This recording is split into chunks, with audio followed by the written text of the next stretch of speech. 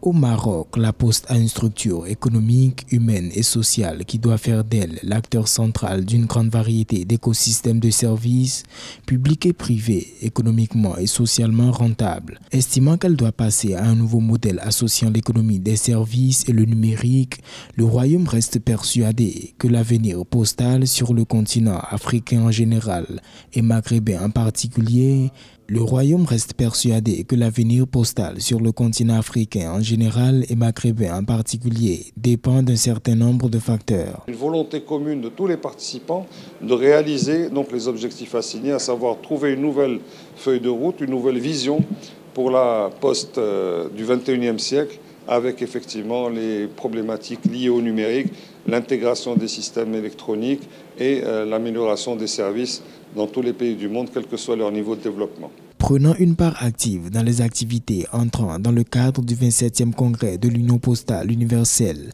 le Maroc veut désormais appréhender les enjeux du développement des services financiers ainsi que le rôle évolutif de l'innovation dans le processus de modernisation de la poste africaine. Ce sont des développements du, service classique, dans de bonnes conditions logistiques et de rapidité, etc.,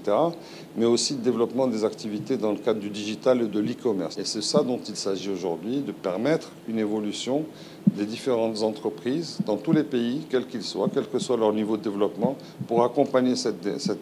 visibilité, cette vision